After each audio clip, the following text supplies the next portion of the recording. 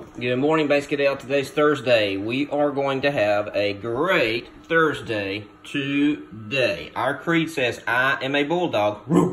I will do my best every day and treat others with respect. And every day includes, of course, today. And that, that is our sticky note.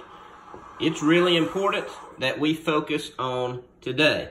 Really, this is the only day that we are assured of and it's the here, it's the now, and so it's important that you work hard today.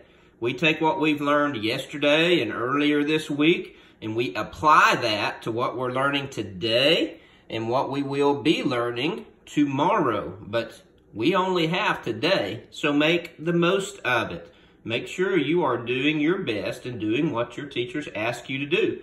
They work really hard, and we expect you to work really hard. So, we want to give a big shout out to our custodians. Yesterday was Custodian Appreciation Day.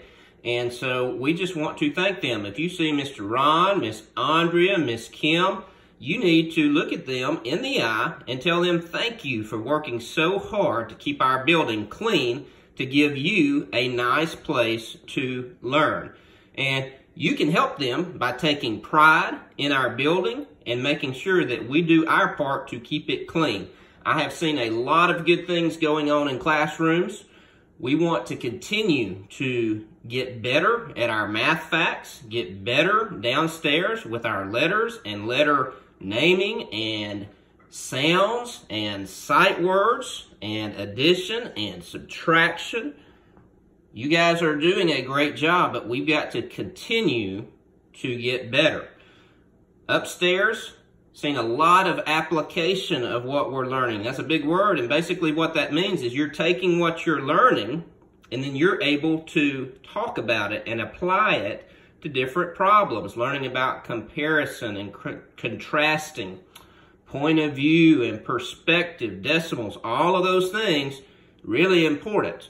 All right, so let's have a great Thursday today. Work hard, do your best, I will see you in classrooms. Again, sticky note today.